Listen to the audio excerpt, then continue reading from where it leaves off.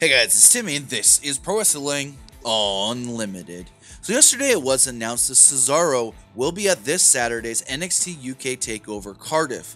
Cesaro teased that he may actually get physical at the show, and one NXT UK superstar actually may have sent out the challenge to Cesaro as Pete Dunne simply tweeted the following. Alright, mate. So with that, Pete Dunne was the only NXT UK superstar to respond to the video that they did post of Cesaro stating that he will be in Cardiff this Saturday. And hey, the former champion does not have a match right now on the card. So what better way to get the former United Kingdom champion Pete Dunne on the card than have him take on one of the strongest, best brawlers WWE has in Cesaro? Let me know your thoughts in the comments below on a possible Pete Dunne Cesaro match this coming Saturday at NXT UK Takeover Cardiff.